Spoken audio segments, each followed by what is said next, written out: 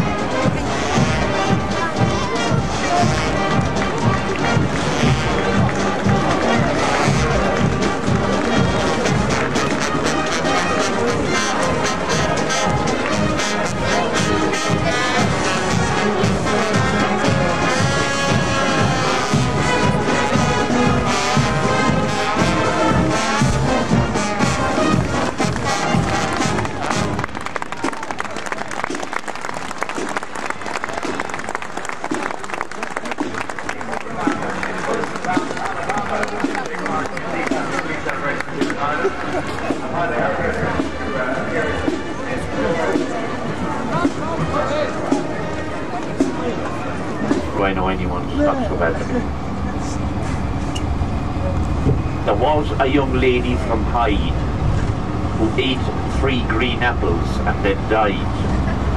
Now the apples fermented inside the lamented and made cider inside her inside. Anything going on? Oh yeah. Uh, there was a young monk from Siberia whose morals were rather inferior. He did to a nun what he shouldn't have done, and now she's a mother superior. and they get worse from now on. So if the adults want to know the worst ones, they can meet me tonight in the bar and I'll tell them. in a well here in this little village. And just along here on the right is where the, the deed took place.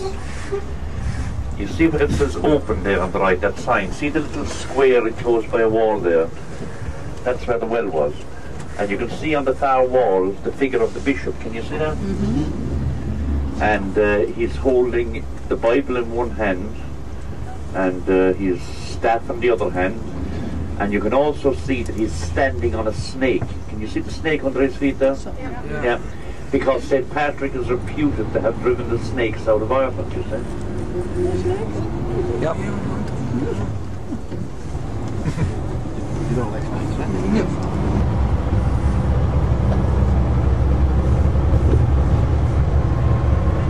Queen Elizabeth I. Because the man who was living in the castle at that time, his name was Cormac McCarthy, and his title, he was the Earl of Blarney. And he is said to have had an inexhaustible supply of answers and excuses every time Elizabeth wanted him to submit to her. Now, these uh, excuses were always accompanied by very honeyed entreaties regarding His beloved Majesty's health, and he couldn't give a damn about her at the same time. Now, this apparently had been going on for years, and every time her, when her representative was sent to get McCarthy to submit, he always came back with these excuses. Now, on one occasion, her representative at that time was a man called Carew, and he went back to Elizabeth with more excuses for McCarthy. And on this occasion, we're told that Elizabeth got into a towering rage. And uh, now, title people, when they're talking to her about one another, they don't use the name, they use the title. She would never refer to him as McCarthy, she'd refer to him as the Earl of Blarney. So on this occasion, Elizabeth got into a rage and she said, I'm fed up with this Blarney. What he says he does not mean and what he means he does not say. And we're told that that was the first use of the word in the English language. Now, how did this man McCarthy get this gift of eloquence? Well, we're not sure. Probably born with it. Down here they have a little story about it. They say that it goes back to the days when they used to bottle witches at the stake. Now, in those days, if uh, usually an old lady was suspected of being a witch, they had a very easy way of finding out whether she was or not. You see, what they would do is they'd tie her up and throw her into the nearest river or lake. Now, if she sank to the bottom and drowned, she was innocent. But if she floated to the surface, she was guilty and was then at the stake, you see. It was a very easy way they had of finding out. Now, there was an old lady down in this area accused of being a witch. So they tied her up and threw her into the local river. And down she went to the bottom, so they said she's innocent, and away they went home. But you see, she had some magical powers because she was able to survive on the water. And when they were gone, she came to the surface. And she was crying out for somebody to uh, uh, untie her when McCarthy was on his way back to his castle and helped her cries for help and he dragged her out and untied her. Now she said because he had done this kind act for her, it was now in her power to do something in return for him. Now McCarthy had, was a very wealthy man, he didn't need wealth, but he had one problem. He suffered from a very bad speech impediment, called call it stammer. Now he was engaged, or he was going after a young lady in the city of Cork. But every time he tried to propose to her, he just couldn't get the words out, and she used to laugh at him. So he told this to the witch, and she said, no problem at all. And she told him about this stone that was up on top of the castle. And if he kissed this stone, uh, all his troubles would be over. So anyway, up he went to the top of the castle, and caught a hold of this big stone and gave it a big smacker of a kiss. And lo and behold, he was now coming out with words and phrases that he didn't even know the meaning of. So up on his horse and away with him into Cork and charmed the young lady. And shortly afterwards they got married and like all good fairy stories they lived happily ever after. But of course the truth of the historical side of what happened was that McCarthy lost the castle in battle. Uh, the castle was then taken over by a local family here, a Cromwellian family and uh, they married into another family called Colthurst, and the castle to this day is in the hands of the Colthurst family. Now, it's, it's a, a lot of steps, winding steps, stone steps up to the top of the castle. And if you think that that would be too much for you, uh, there's another way of getting all the benefits of kissing the stone without going up there. You see, you wait somebody who's been up there comes down, and then you kiss them, and you have the whole thing by proxy. You see, it's easy. Now, I'm sure Jerry has a voucher to cover everybody's entrance in there, so we'll.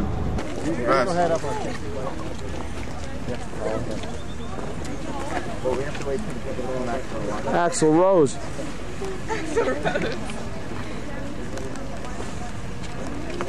Do you want? But someone take the take the bag and we'll start walking. I'll just direct them through here. Uh, Take it.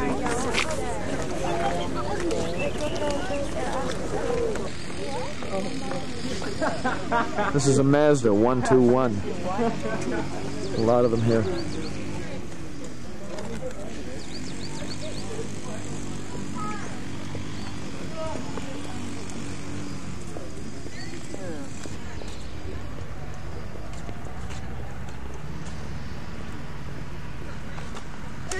Say something, Steph.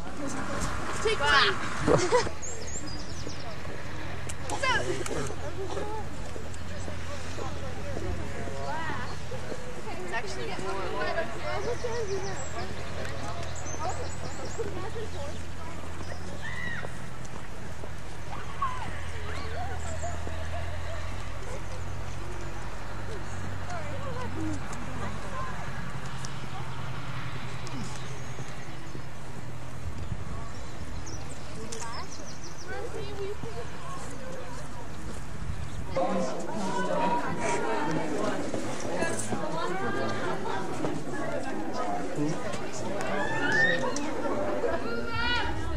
Hey Trevor.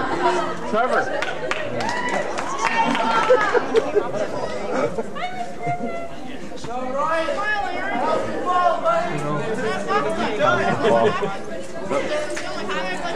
And don't you cough on that stone. You got a bad cold.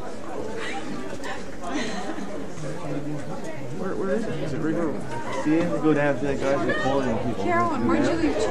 What oh, did Ryan already do? I'm taking a picture of this empty room down. Ryan, did you kiss it already? What? Did you kiss it? I feel eloquent now. Was it good?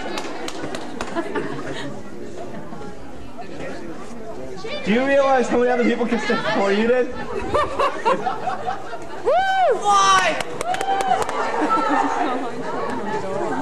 I'm wiping his lips.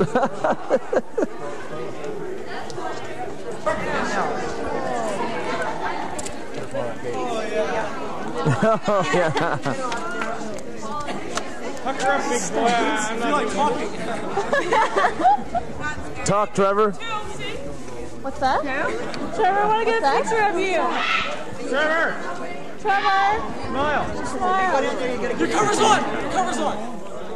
I always do that. What's that? Hold on to Jim's hand.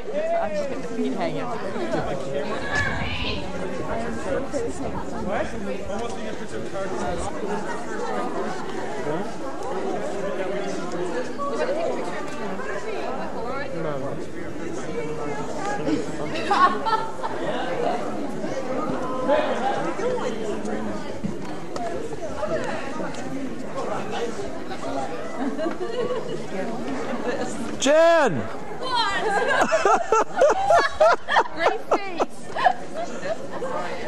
Been there filming the whole thing as we're as we're uh, laughing at them. Our faces. yeah. Heart starting. You too. Concert jitters. Yay!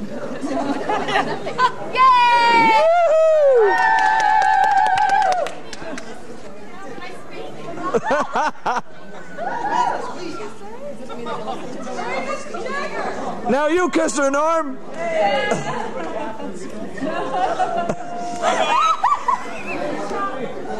Lipstick right on there. Hey, they're not getting lipstick on that wall.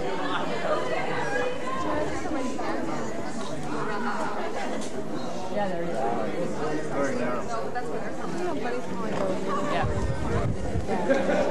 goes like that. and then it's so-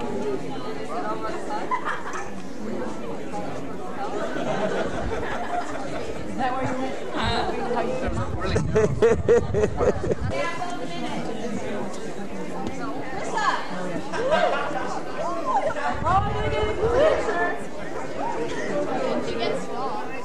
She can't reach it.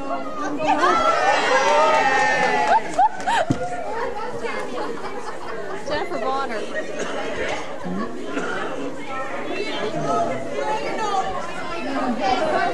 Hey, Bonner!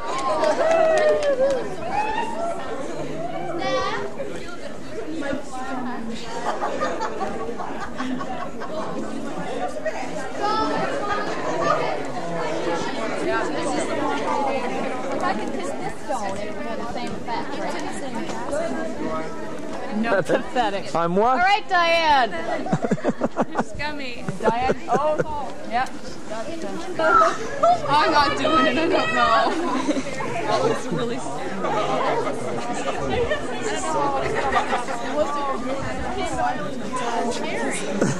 I don't know why I pay to do something like this. Killawee! Kill away!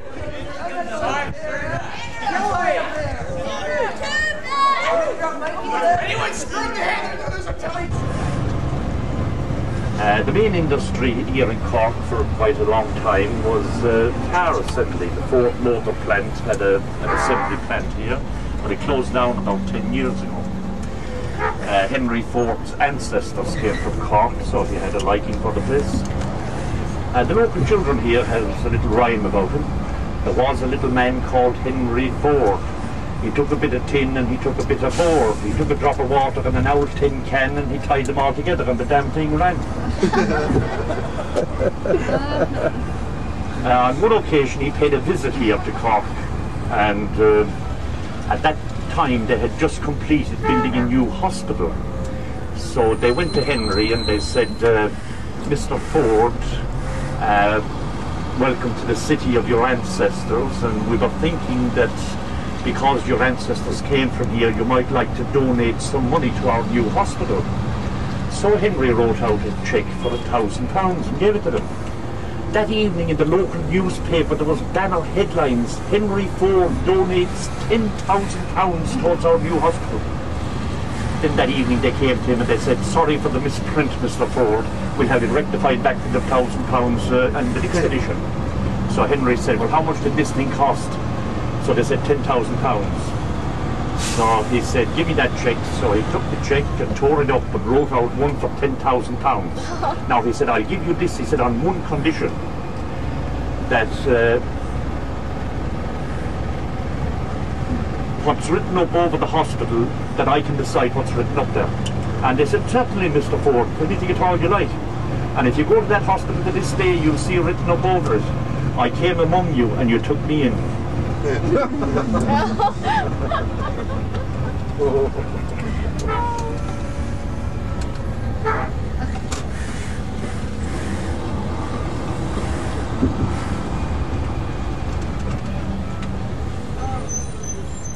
Toby Jones. Brother.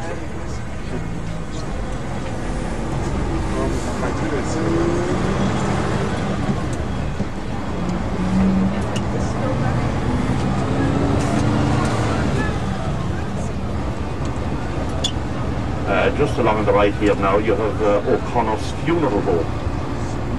And as we go through the lights, if you look up to the left, you'll see the hill rising away up from us, St. Patrick's Hill. Now, there last year, they, oh yeah, there on the right hand side, Falvey's Pharmacy, that's a chemist shop. Um, what do you call it? Drugstore. is? Yeah.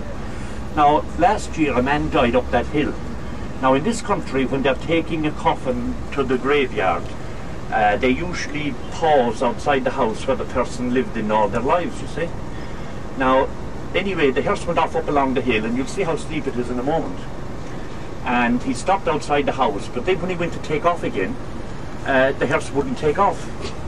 And he kept juddering it, but with all this juddering, didn't the door of the hearse burst open, the coffin flew out and came down the hill ahead of us there, and straight in through the door of the chemist shop there on the right hand side, and banged up against the counter. And the lid flew off, and the dead man sat up inside in the, in, in, in, the, in the coffin, and he said to the man behind the counter, For God's sake, can you give me something to stop me coughing? I told you to get worse. After that wonderful sound I just think it's time to make a quick presentation to three very important people that helped us out so far this weekend and helped us out for the remainder of the weekend. Um, well, first of all, I'd like to start by thanking Jerry, who's been our coordinator for the trip. Um,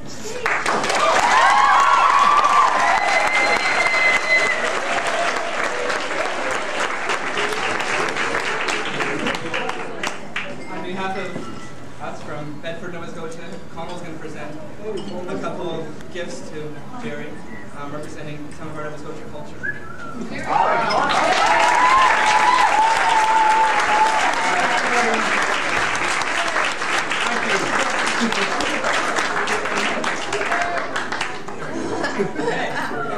Thank you.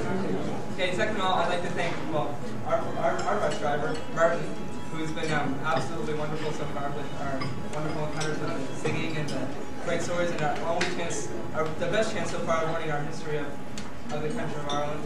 Um, to all the great turns we've done in those really small cities, and um, Shane is going to present him with the same. Shut down.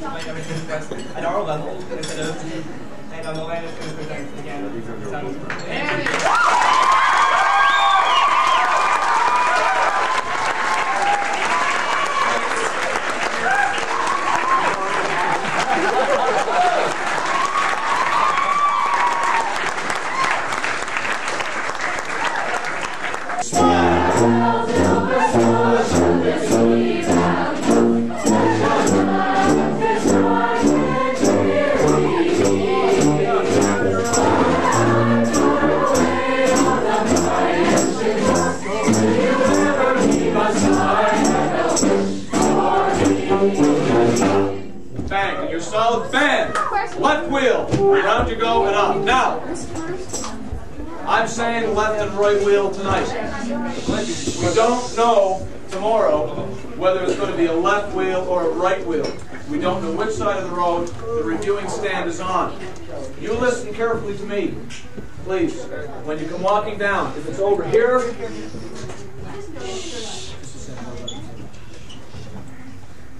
if it's over here, it's a left wheel. You're, this is left arm, okay? That's left wheel. If it's over here, it's right. Okay? How do you remember right? Right. Bless yourself. Okay? Those of you, that's how I knew my right till I was 17. Okay? You gotta know the right from left. Just remember that. Okay? Now, you learn the words, you're gonna learn them by tomorrow. Mr. Murphy. Now, I'll, I'll entertain one or two questions, and then we gotta move on. Yes. Obviously, what are you gonna say? Canada, Nova Scotia, Canada, pleased to meet you. How are you gonna know when to come back in? See everybody else. That's what you're gonna hear. What if someone? What if someone? Well, only from you, Krishna. Okay? Thank you, Krishna. I need the support. Thank you very much. Appreciate it. Yes. Um, big instruments, what there? Like, should they just stand still or should they be? Big instruments? The, the big Two of us- Carry two of them. us- We got some pretty scary guys playing tuba here, man. They can carry them anywhere. They can climb walls. Well, thank you very much. They can scale walls with them. Okay. Okay, don't worry about that. Yes? Um, are we going to be always singing Farewell Nova Scotia, or are you playing it too? No, we're always going to be playing it until we get to the reviewing Okay, stand. so we only sing it Okay? once? If we're in a position where I think we should sing the thing, you'll hear me. Right, Okay. Okay? And this is the type of thing, like, we're in this for a little bit of fun here, too. So there's nothing wrong with me yelling out, okay, guys, we're going to sing. When you hear me say, we're going to sing, what's your cue? One, two, one. Alderman Gay Mitchell, TD, and as he arrives in splendid Lord Mayor's coach.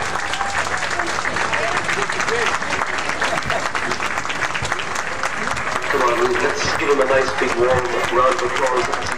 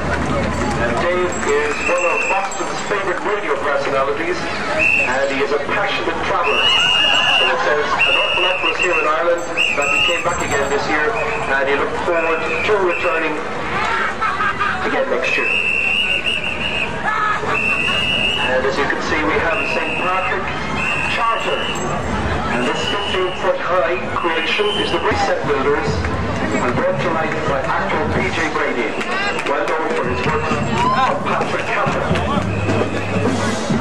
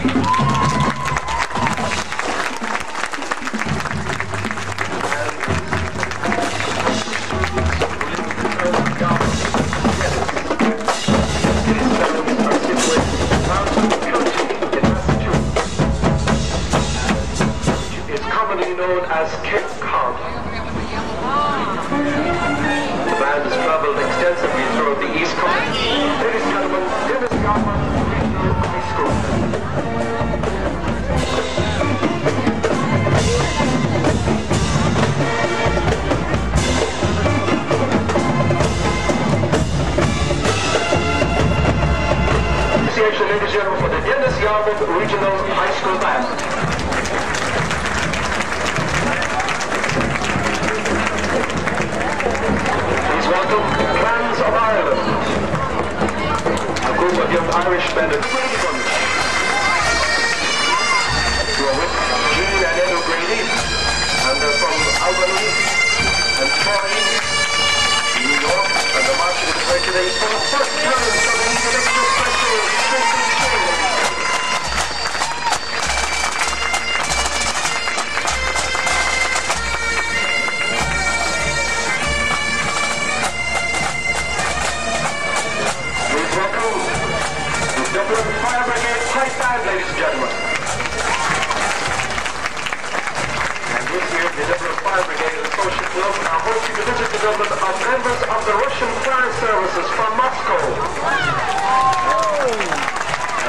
first-time Russian songwriter, visited artist, and it's a very historic occasion, ladies and gentlemen. So give them a round of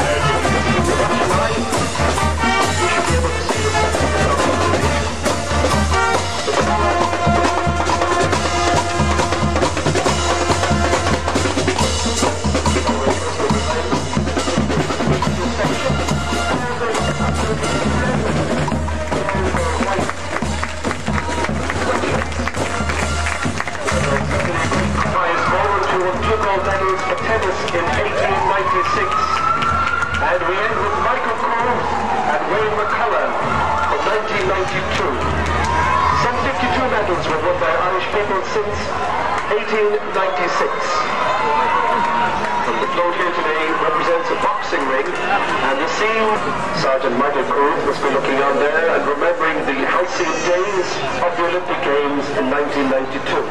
So ladies and gentlemen, let's give it an extra special applause.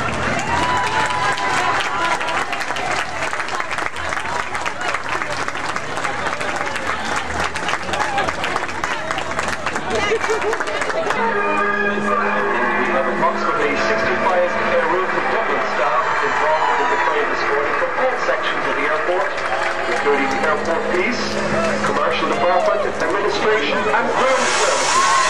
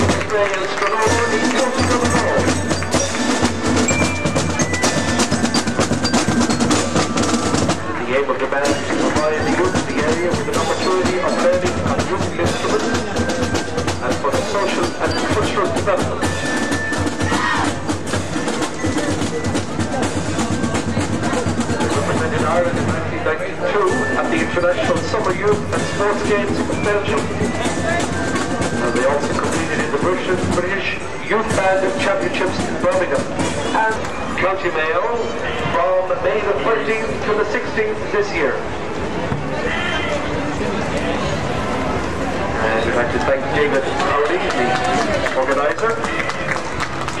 and the local artist Michael Smith, who developed the design.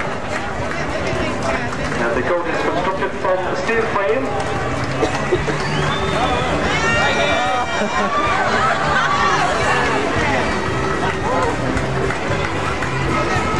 please welcome Guinness.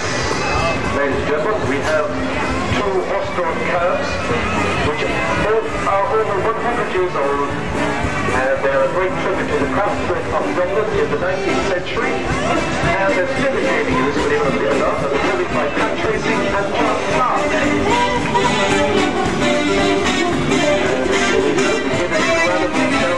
Your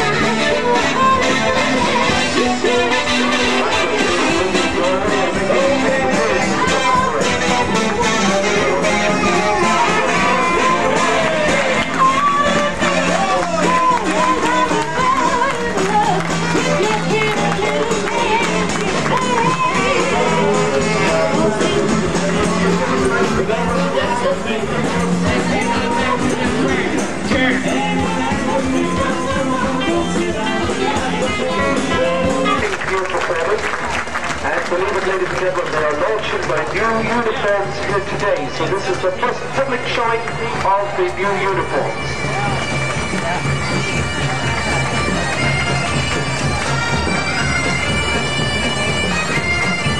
And the parade traditionally marks the start of a very, very year for them.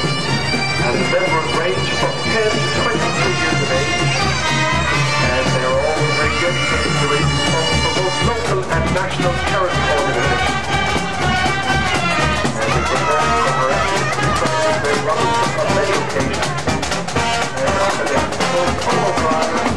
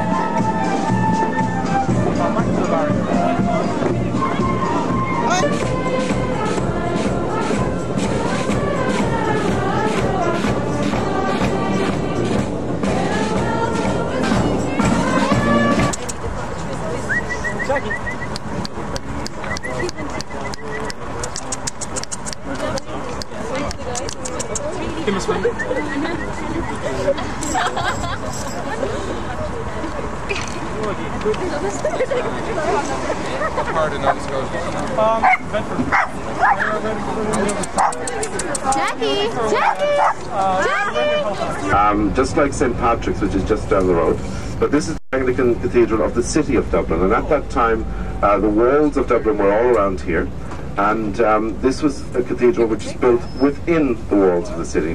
Um, one of it contains very tombs of various people, but principally uh, the tomb of a man called Strongbow or Richard de Clare, and he was the leader of the Normans or the Anglo-Normans who came here uh, to help a king, the king of Leinster, the king of the east of the country, become king of Ireland. Uh, So, in return, he was given many gifts of land. He was also given the daughter of the king of Leinster as his bride, and finally, he is buried with, within this church. It says 1198, and uh, that's the oldest pub of the city of Dublin. And uh, cross over the river to uh, the park, which is the Phoenix Park. High tide this morning. Um, the people of Dublin have a certain wit, and at times, when at low tide, they call the river the River Sniffy uh, because of the smell from the river at that time. It, it's um, it's just the, the rhyme between the two, the Liffey, the Sniffy. So um, we're headed up the river towards the park. You see the monument, the obelisk straight ahead of us. Um, we'll be heading in around that obelisk and through the Phoenix Park. And that's our national drink. Um, the black beer that you see is, is the Guinness. Over on the right is one of the barracks, a, a military barracks, which is the oldest one in Europe. And indeed, there's still um, herds of deer at liberty, totally free here in the in the Phoenix Park. They don't come out of the park at all. No need for them. Um, you see the, the old gas lamps at each side of the street here. Um, these were restored as part of the movement for the millennium back in 1988 to celebrate the thousand years of the city of Dublin. These gas lights were restored and still operate. Just on our left hand side here, you have the tallest obelisk. Um, do you use me- meters or feet? It's 65 meters. 65 meters high. And uh, this particular obelisk was built to honour a man who was born in Dublin, a man who's called the Duke of Wellington, who you may have heard from your history lessons. Um, in principally because of the victory of the Duke of Wellington over Napoleon in the at the Battle of Waterloo in 1815, and uh, this was built started in 1817 and is the tallest obelisk um, in a city in Europe. Among the trees here on the left hand side as well. So, as I said, they originally they were there for hunting, uh, for the kings and the royalty, English royalty, um, but uh, I've since been they're just still left there anyway in freedom over the, the park. So this is the papal cross left here, as I say, in memory of the Pope's visit to Ireland back in 79. You also see from here over towards the Dublin Mountains, which go on into the Wicklow Mountains. So, um, really, a half an hour from the city, people can be in the countryside, right out into the Wicklow Mountains, a very, very beautiful um, area.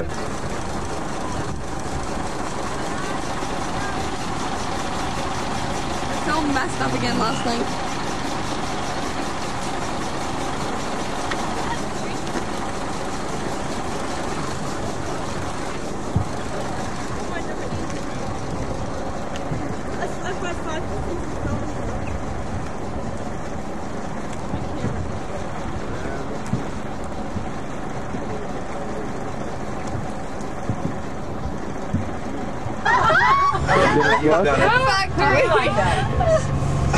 Stamping out bottle after bottle. And they also have a visitor centre which is open to the public called the Guinness Hop Store. Uh, Dublin uh, comes from the Gaelic Dublin, which um, means black pool. And this was one of the settlements um, founded um, principally by the Vikings. Where was originally there were a few different settlements along by the river. So you had the Black Pool. You also had uh, the Balia Clia, which means the bridge was erected in 1818, and for just over 100 years, you had to pay half a penny or a halfpenny to cross this bridge, hence the name. But it's uh, just a walking bridge linking two commercial areas. Realise that, but, uh, but probably not at the moment. The bridge is wider than it is long. Um, we're coming into the as probably one of the most well-known names of the early 19th century in Ireland. Uh, he was a man born in County Kerry, um, and at that time, up for about 300 years, laws existed in Ireland which um, Stewart Parnell. And Parnell was the man who really fought for the rights of the tenants in Ireland because right up until the end of the last century, the Irish people were tenants. They rented their houses. They weren't. They, there were laws which existed which um, didn't allow for people to earn a lo- or to own a lot of land. So what happened was the landlords were people who were called the Maternity hospital Um, called the Rotunda. that was the. It was founded by uh, back in the seventh. It's working out less costly just to send trucks over with, with uh, tanks of Guinness. So, um, there. Unfortunately.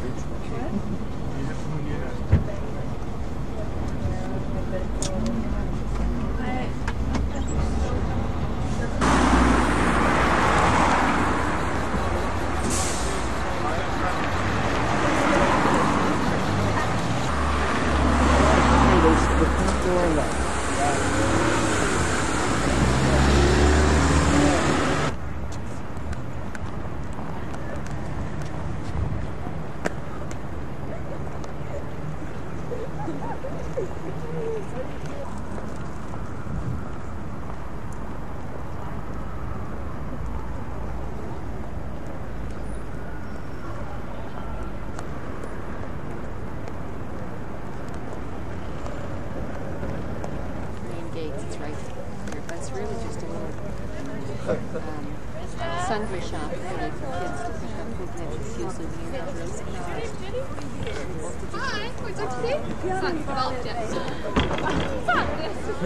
Norm's going crazy. Look at him go. Go, Norm. Norm. Norm.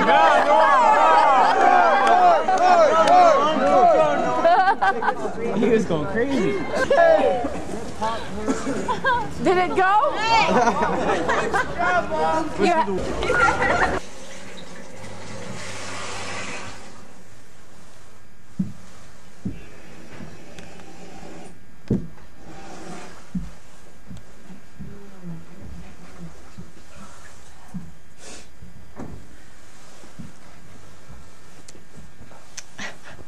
I gotta take a picture of this bathroom. Yes.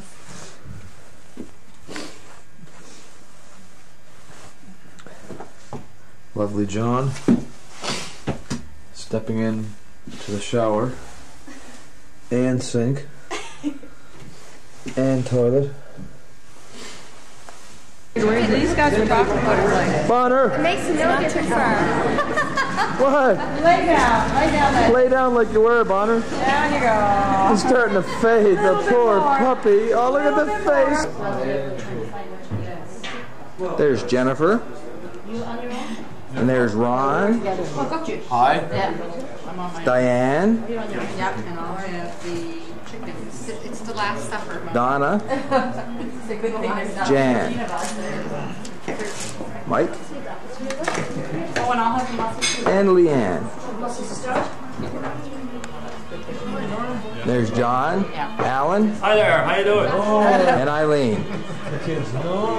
Top of the evening to you. And this is Norm. Priscilla. Especially. And this is the end of the dinner. See you, Norm. Sideboard there. Norm in front of the sideboard. Norm? Norm in front. I got the pink one when we jumped out today. Remember there was the uh, doors and I, I ran across? one. Well, I took the two. paper then. Over that. Maybe.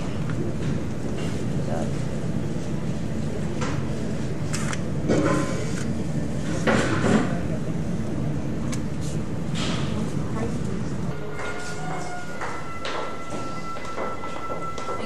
coming down the escalator, I did a picture of it coming back. I like the ducks.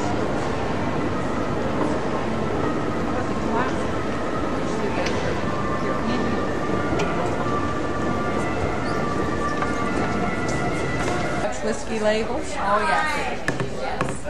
Be nice for a bar. Yes.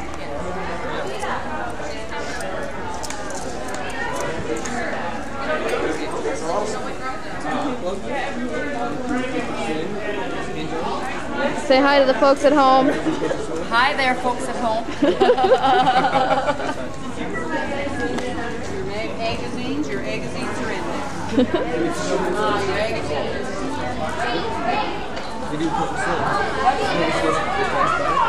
magazines. Keith, this is no time to be shy.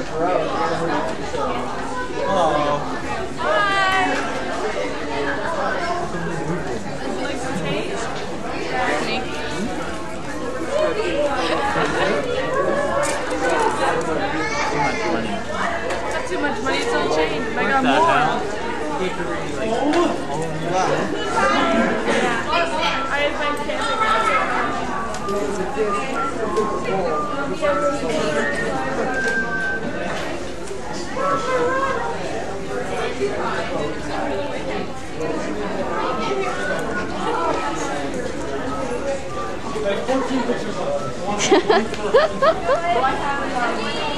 What's the problem? I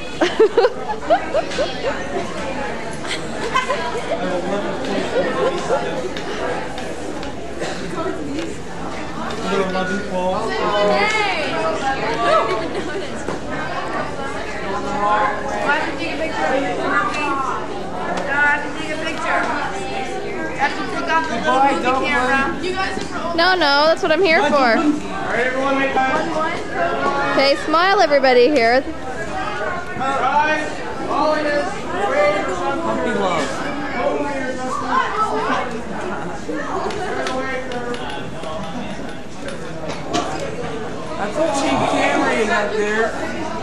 Zoom, super close up. Woo! Everyone's gonna be on the uh, school lunch next semester. Don't look around. Say hi to everybody at home.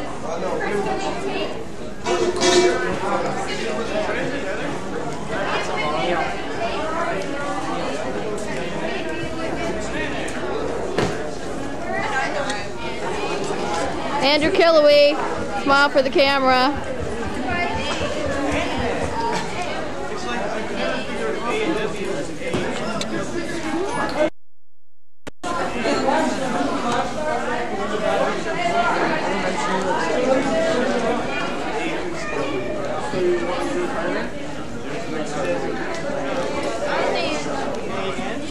Sandy, my bra is broken. From the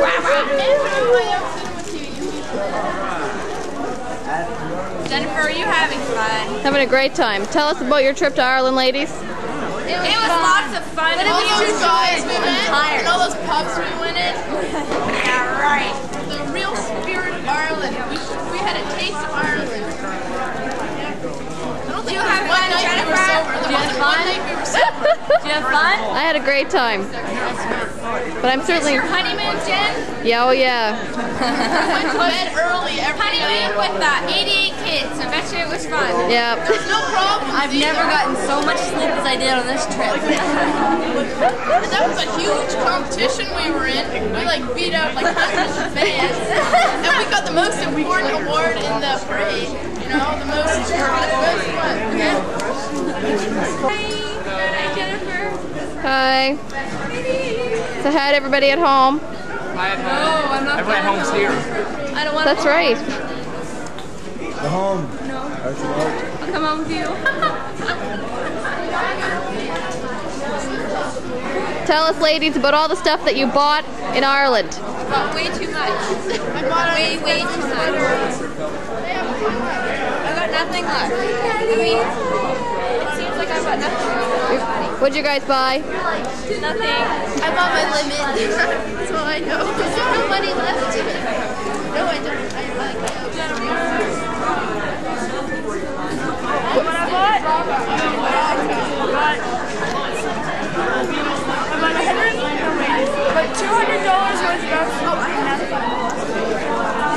hundred. And you? How about these?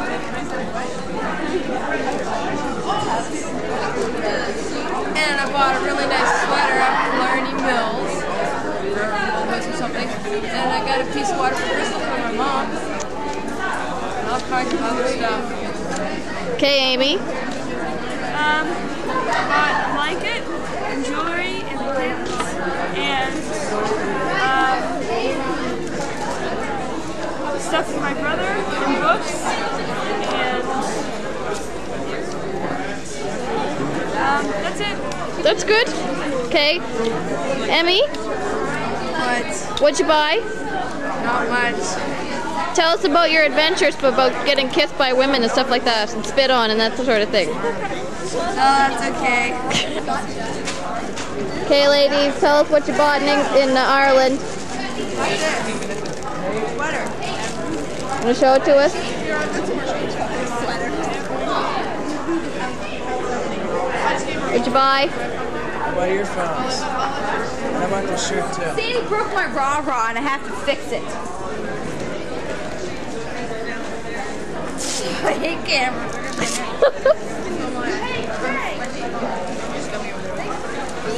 What'd you buy? Nothing. You didn't buy that sweater? No, this is Aaron O'Hagan's sweater. Oh. She didn't ever pack it, so I told her I'd wear it. Oh, that's good. What did you buy in Ireland? It was wonderful. What did you buy? Um, new hair. New hair? Yes, nice new haircut. Um, not much else. And what'd you buy? Nothing? that was worth it. And I lost my camera. What? And I lost my camera. Oh, I'm sorry. I've done that before myself.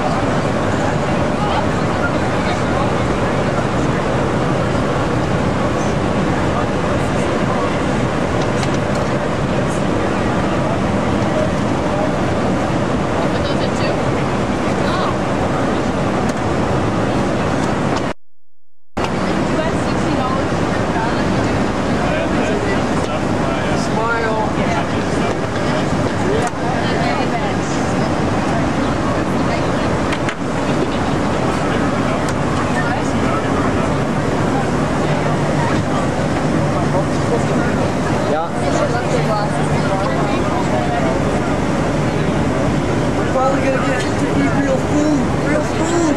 Real food. Going home.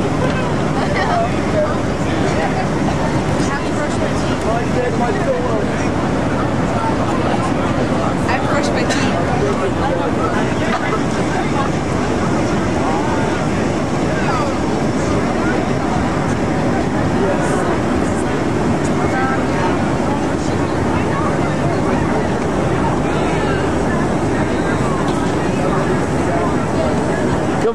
On, Nikki, smile.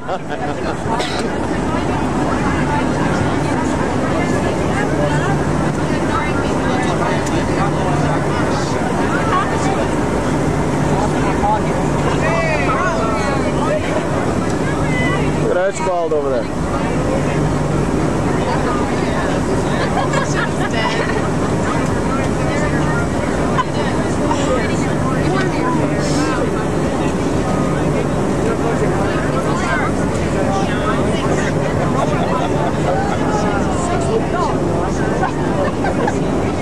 Oh, you missed it. You missed it. Oh, oh, oh, oh. What a trip! What a trip! Hi, Jan. Hi, John. I'm keeping it What from are you doing? cheating. It's my turn. You have to. Hurry up. Hi, Mom. Hi, Mom. Right. We just saw the CN Tower out that window. What window? It's very tall. That window over there. We saw the sky dome. Sky dome, everything's incredible. Toronto's a lovely I saw the. CN Tower for the first time. And the Sky Dome. When was that, Missy Bear? I saw the CN Tower for the very first time. You're stumbling your words, Missy Bear. No, I'm not.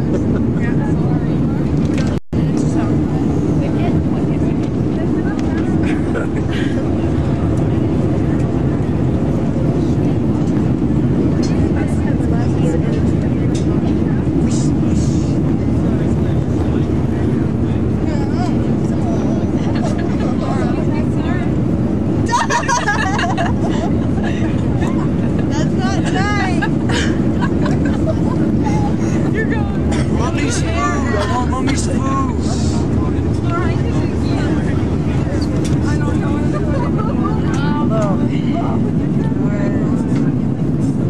Billy Bob. What?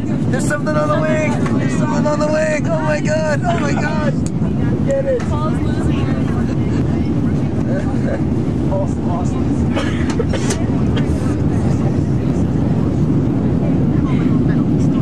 Miss Vale.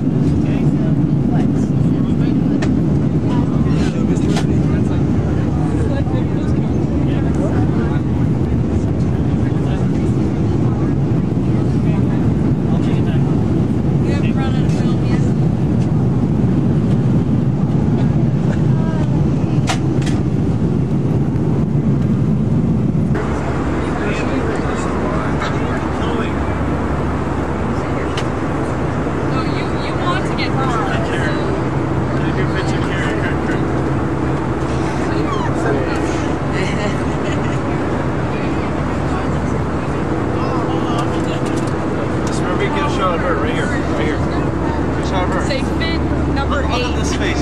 This Make is a that true fit example number of nine. See that face, Erwin? 24 hours. Oh my jeez, look at mothered love.